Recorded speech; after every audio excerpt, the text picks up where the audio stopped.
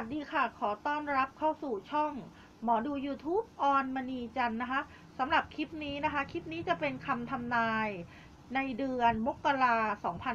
2562 นะคะ ของชาวราศีตุลกับชาวลัคนาตุลนะคะ คลิปนี้นะคะก็จะเป็นของท่านที่เกิดตั้งแต่วันที่ 16 ตุลาคมจนถึงวันที่ 15 พฤศจิกายนของทุกปีนะคะก็ก่อนอื่นนะคะ ขอแนะนำก่อนนะคะ ท่านใดท่านใดก็ตามนะคะ ที่ว่าเข้ามาดูในคลิปของเอนะคะ เอขอความกรุณานะคะ ช่วยกด Subscribe กดไลค์ กดแชร์ แทนค่าครูให้เอด้วยนะคะ แล้วก็ลิงก์หลักนะคะ youtube.com/owol2244 นะคะไลน์นะคะไลน์ก็เอทารอส24ค่ะ ท่านใดที่สนใจอยากจะดูดวงให้ไลน์ติดต่อมานะคะคำค้นออนมณีจันทร์นะคะคำค้นออนมณีจันทร์ ช่องหมอดู YouTube ออนมณีจันนะคะ จะมีลิงก์หลักคือ youtube.com/owol2244 นะคะ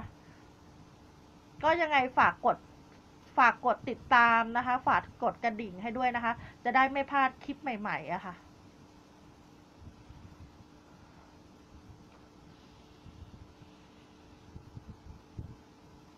ก็รับดูอยู่หลายอย่างนะคะ ก็ดูลายมือด้วยอะค่ะ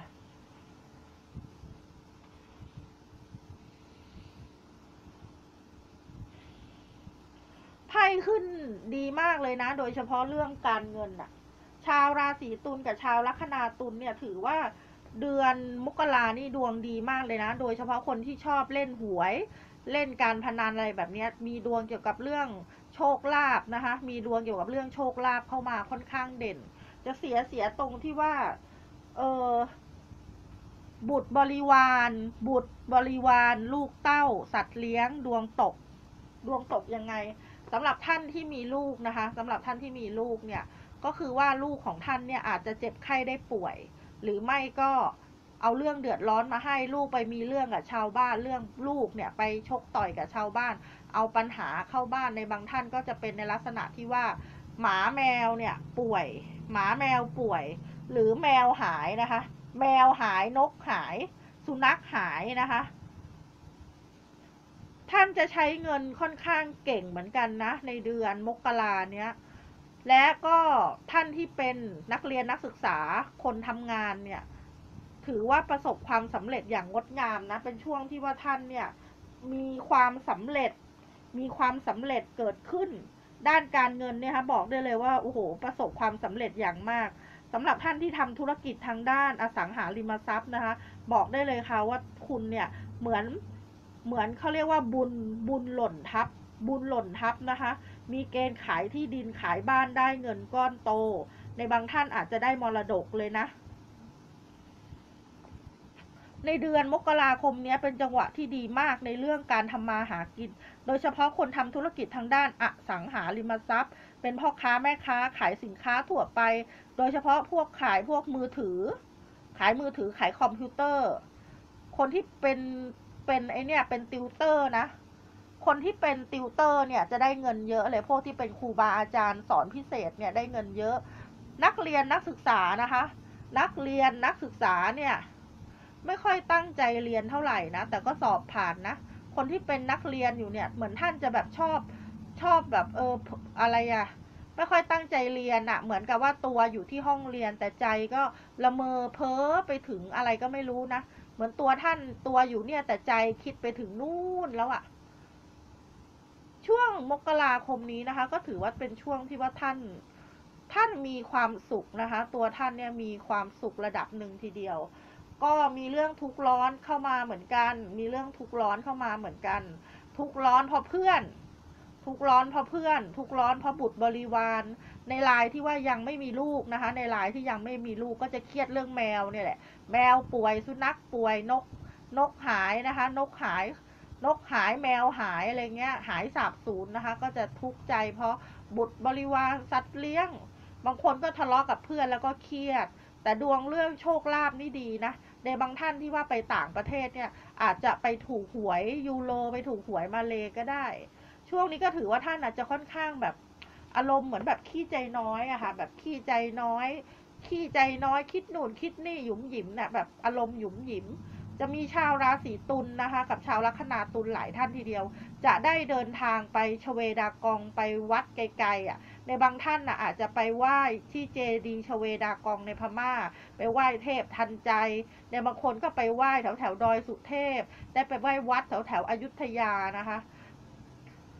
การเรียนการศึกษาบอกได้เลยค่ะ ไม่ค่อยตั้งใจเรียนแต่สอบผ่านนะคะ หัวดีค่ะ ท่านเป็นคนหัวดีนะ แต่ไม่ตั้งใจเรียนเท่าไหร่ ในด้านความรักนะ เหมือนท่านนะรอให้เขาติดต่อมา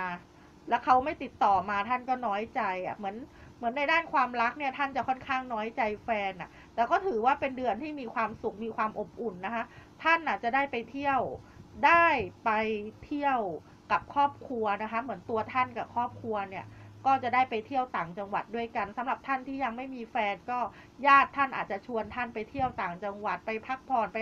เออหาหาไปหาอะไรอร่อยอร่อยทานมีความสุขเข้ามา ในบางท่านน่ะก็ไปทะเลในบางท่านก็ไปต่างประเทศ เรื่องการงานเนี่ยนะคะ บอกได้เลยค่ะว่าอยู่เฉยๆเงินมันก็มาเอง อยู่เฉยๆเงินมันมาเองแล้วก็ได้เงินดี หาเงินได้เยอะด้วย จะมีชาวราศีตุลหลายท่านทีเดียวนะคะ ที่จะได้ไปงาน จะได้ไปงานเฉลิมฉลองอะ่ะ อันนี้ก็จะเป็นรูปคนไปเที่ยวในงานคานิวานนะคะ ก็ท่านก็จะได้ไปเที่ยวในงานอาจจะเป็นงานนี่แหละเขาดาวนะ งานเขาดาวงานเป็นงานในต่างจังหวัดงานเขาดาวงานงานที่เอองานอาจจะเป็นงานสี่ภาคนะเทศกาลของกินสี่ภาคก็ได้ก็จะมีก็จะมีเรื่องเกี่ยวกับเรื่องการท่องเที่ยวเข้ามา ท่านจะได้รับความช่วยเหลือจากคนอายุน้อยกว่านะ จะมีหลายท่านทีเดียวนะ ที่ว่าจะมีปัญหาทางกฎหมายอะ่ะ โดยที่ว่าอาจจะเป็นลักษณะว่าท่านเดือดร้อนเพราะคนอื่นนะ เช่น เพื่อนเนี่ยมีคดีท่านก็เลยต้องไปช่วยประกัน เพื่อนโดนตำรวจจับเนี่ยท่านก็ต้องเข้าไปช่วยเหลือค่ะ ตัวท่านเองเนี่ยก็จะได้รับความช่วยเหลือจากผู้หลักผู้ใหญ่นะต้องระวังอะที่ต้องระวังก็คือต้องระวังสัตว์เลี้ยงเนี่ยหายอะแบบไม่อยู่บ้านหลายวันเงี้ยให้ระวังนะคะ ก็ช่วงนี้ท่านก็ใช้เงินประหยัดประหยัดหน่อยจะดีนะคะ เรื่องการงานเนี่ยมันจะมีอุปสรรคในช่วงแรกนะคะ ภายหลังก็จะผ่านพ้นไปได้ด้วยดี ทางด้านสาวโสดหนุ่มโสดก็มีคนมารักมาชอบมีคนมาสนใจ ท่านเป็นคนมีเสน่ห์ค่ะ ด้านการงานถือว่าจะเป็นช่วงที่มีความมั่นคงในเรื่องการงานนะ มันก็จะมีปัญหาในช่วงแรกๆกันแหละ เหมือนท่านอาจจะไปเหมือนท่านอะ อาจจะไปทะเลาะกับหุ้นส่วนก็ได้นะ คุณน่ะอาจจะทะเลาะกับเพื่อน หรืออาจจะทะเลาะกับหุ้นส่วนก็ได้ เพราะฉะนั้นเนี่ยไม่ควรไว้ใจจนมากเกินไป แล้วก็ควรระวังคำพูดด้วย ด้านการงานนะคะก็ถือว่ามันลักษณะเหมือนกับว่ามีการแบบช่วยกันทำอะเหมือนคุณก็ต้องขอความช่วยเหลือจากคนใกล้ชิดด้วย ต้องมีคนสนับสนุนด้วย การงานมันถึงจะราบรื่นนะคะ ก็สำหรับคลิปนี้นะคะ ก็จบลงเท่านี้นะคะ